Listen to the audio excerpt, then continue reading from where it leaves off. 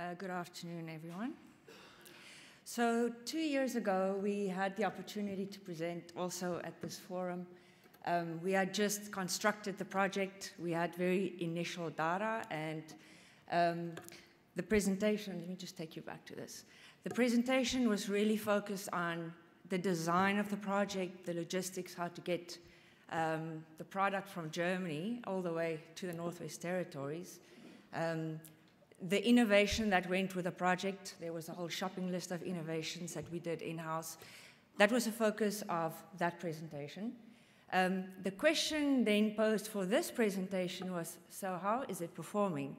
Um, at that stage, it was like a wow project, uh, you, quite a gutsy approach to install this type of uh, solution in an area where it was totally untested, um, and for us to move on that.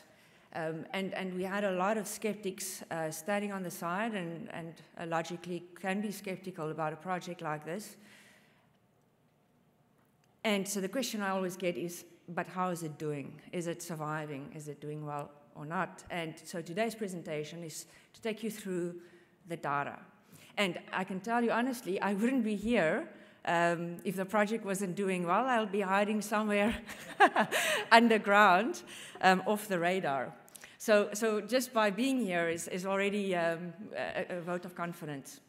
So uh, it seems that this session is really about the remote part, Northwest Territories, up there where the red dots are. Um, in the far, far north, uh, that comes with its, its, its, own challenges. But it's a, it's a beautiful part of the world. We mine uh, exquisite, uh, pure white diamonds there um, as part of the Rio Tinto operation. We also share that area with um, Dominion Diamonds, and De Beers also mining that area. Um, and so we all share the similar challenges. One of the challenges, um, and I'm not going to go into too much detail because I did that two years ago, but we are very remote. I'll just go to how remote. um, you won't see a transmission line on that picture. Uh, and um, uh, the, the roads are very seasonal. This is a little bit up close. Um, it's, it's quite pristine, it's quite beautiful, but it's, I, I think it passes the sniff test on remoteness. Um, that's winter. You can see the roads there are the seasonal winter road that melts in summer. So that's our, that's our summer picture. Um, I'm jumping around. I'm just going back to um, what is Diavik Diamond Mine? It's part of the Rio Tinto suite. We are extremely safe mine, very proud mine. We, we've been um, operating open pit mines. We're constructing our third open pit as we speak, but currently we are an all underground mine. Um, and we have a very interesting energy load profile that goes um, with being an underground mine in the north. So I'm going to ask that the video gets played now. I've just put together a, a short video, no sound. I'm just going to talk you a little bit through the mine. Um, this is our all-season winter road. Why I want to show you this is just get a sense of the context we are operating in um, and why having gone for a renewal project is, is, a, is a tough go. I can also say that we didn't install this project because we're green uh, per se, or that we wanted to have a social project. This project was built solely on economics, A, B, operational stability, and C, de-risking our energy profile. So here we're doing a flyby over the one pit. There you can see the second one. We're entering our tailings facility. Um, a lot of energy is spent on, on heating. This is our summer look heating and um, pumping. We, our diamonds have decided to position themselves all underneath the water. So we've got to pump, uh, first dike and then pump all this water out. Um, currently we are underneath. You can see our, our mines there. That's a sub-level retreat type of mining. And there in the background you can see our four 2.3 megawatt Enercon direct drive turbines operating and beautifully turning. So that just gives you a, a, little bit of a sense of, of our mine. Um, our big loads, as we are underground, pumping obviously, underground ventilation, and, um, and heating. So the project started in June 2010. It was operational September 2012. And you can do it that fast. We, uh, we bought 9.2 megawatt, but we're getting 9.4 at the moment. I think the Enercon gave us a few extra copper strands on each of those generators. But we, we're getting easily 2.4 megawatts on those turbines. And, um, you know, just digging into the data, on average, every single month, we pull 2.4 megawatts per turbine consistently. Um, average power penetration, 11%. That's the amount of diesel being offset. I'm not a big fan of average, but I'm going to give you average data just because there's so much data, and it's I'm giving you a three-year view on data. The, the maximum penetration, 56%. And, and our grid is, um, our grid system is manually operated. It's not an automatic system. We have about 48 megawatt of Caterpillar diesel generators, and this augments that, and up to 56% uh, penetration with a manual operated energy management system. The initial NPV model, um, I remember building the model uh, with having absolutely no data. Um, uh, but, but we got pretty close to it. But so far, we got about 56 gigawatt hours over three years, pretty good. Um, and the diesel savings there, uh, we, we can fund a lot of capital with, with that saving. I think also on the picture you can see um, the project has passed the all-weather sniff test. That's the other thing of the, of the risk profile of a project like this is um, there's not a lot of data in our operating conditions on turbines of, of these type. Um, and I think the data I'm going to show you is I, I think Enercon now has, and as well as the North, uh, projects of these size, typically how, how survivable is, is the technology. So the turbine availability is a key piece to your, to your uh, cost saving um, so uh, W is, is, is, turbine 1 to turbine 4. And you can see our first winter. Of course, it was one of the coldest winters on record in 20 years. That's just when we commissioned in the plant. So, so we got a, a proper taste of what, what's the, the weakness in the system. You can see our plant availability on all four turbines dropped rock bottom, and that's where we were on an extremely steep learning curve. But sustaining it forward, um, the, our plant availabilities have all been in, in the 90s and high 90s. Um, so so that, that's a key learning. The red bars are what was put in the NPV model per annum. You can see there the kilowatt hours are systematically, you know, the plan was 50 gigawatt hours. We're sitting at 55 gigawatt hours um, of achieved um, energy extracted. That, that's an extremely positive story. Also, if you look at the gradient of that line, it's very consistent, very consistent. You can actually see where it actually levels off um, is that first winter where we lost a lot of availability, so it has a direct impact on your kilowatt hours. Also on the bottom chart, the key thing there, over three years, the four turbines being in four different locations have been consistently performing similar. You know, that, that is not a mute point. It is um, the, the, dynamics around each one of them, you know, the, the wind, the wind shadow that we talk about, our one turbine is right next to the, the tailings dam wall, which creates certain vortex, and we were concerned how that's going to impact. So, but you can see quite sustainable uh, performance across all four.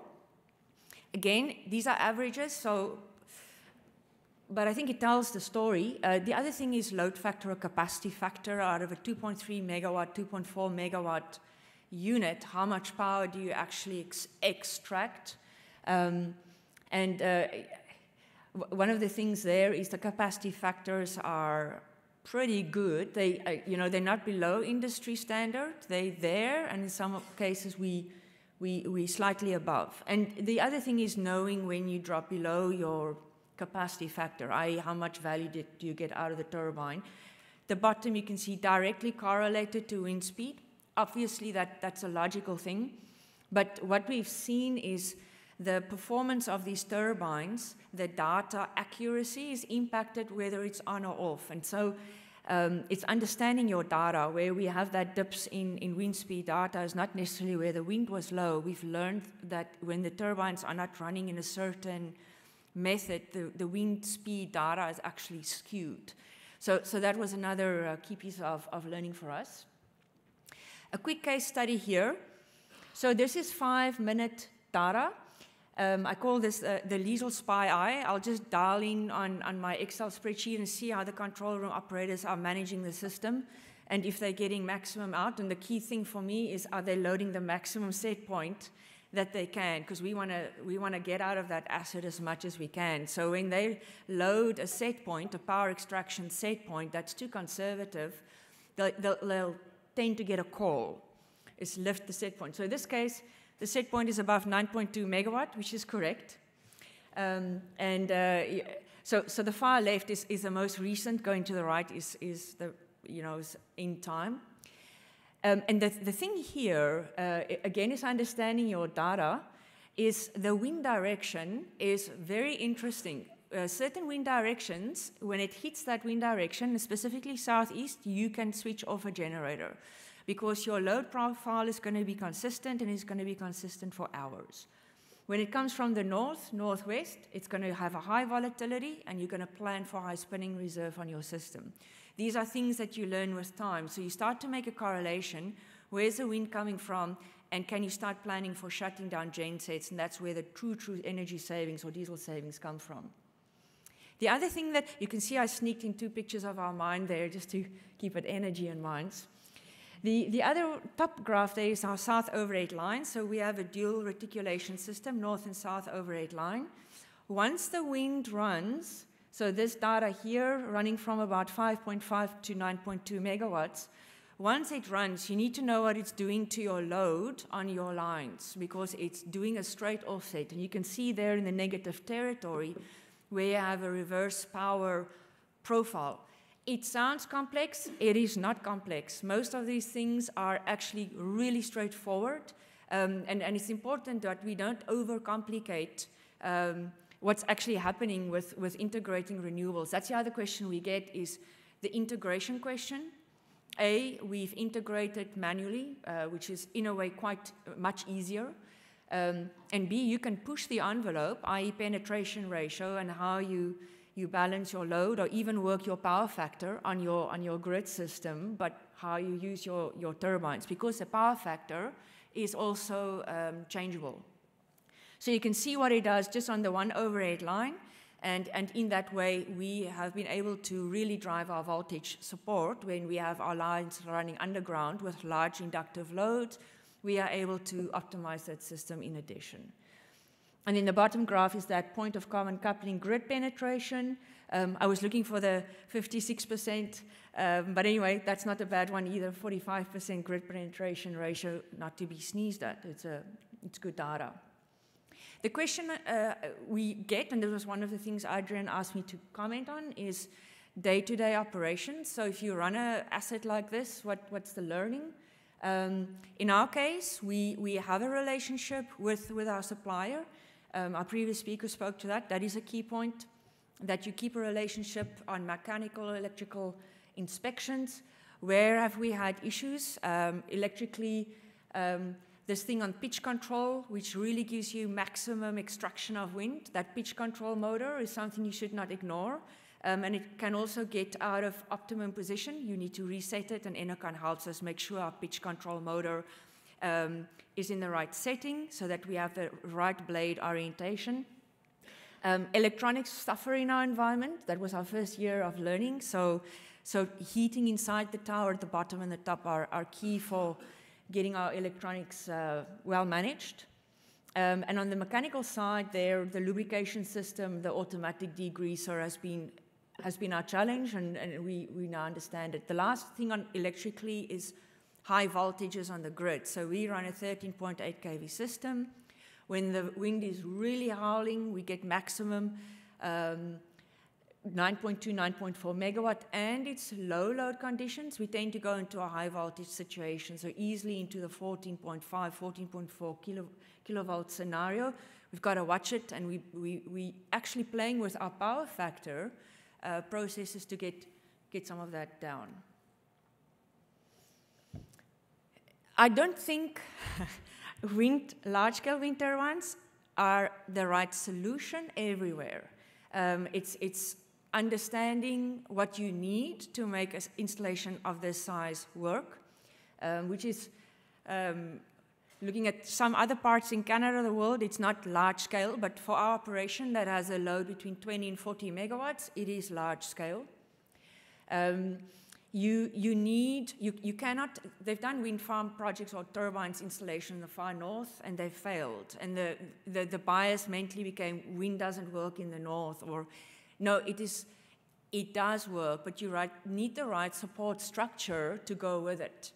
Um, in our case, the mining operation is the perfect synergy between um, these type of projects and mining because we already have the earth moving equipment, we already have the electricians and the trades, we have the energy management system, we have the engineers, we have the explosives to blast and build these foundations. We really have the right uh, synergies um, to make sure these assets are looked after, kept reliability uh, up and high, and respond to, to issues.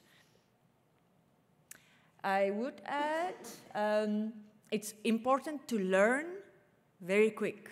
So, uh, especially in the first year, learn as quick as you can. Um, I'm a firm believer of one has to move quite fast on really everything uh, to get maximum value, and, and there is a learning curve. Um, but as it shows in our availability in our kilowatt hour data, that once you've learned, that you can maintain that high profile.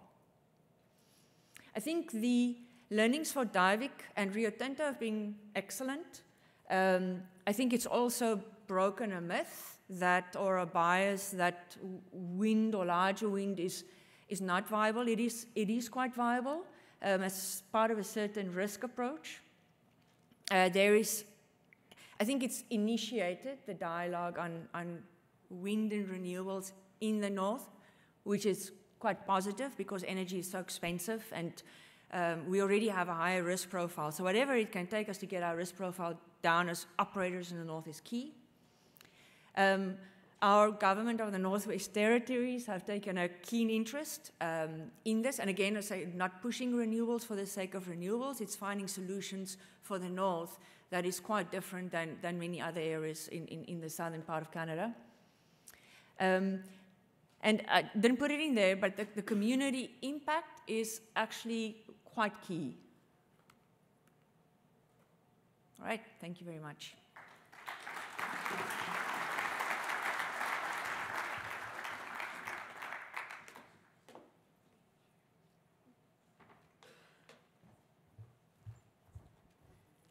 Thank you very much, Liezl. I'm aware that we're sort of catching up on time, so that's why um, we're not taking questions. But